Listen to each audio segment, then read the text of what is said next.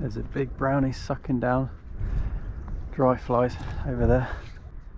Oh, there's two. There's another one. Come on. Yes! Oh, that was so sick. Whoa! Oh, he's coming straight towards me.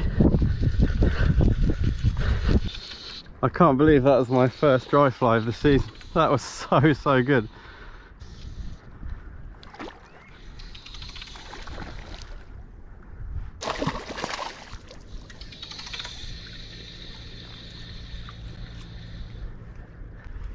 This fish is a fighter.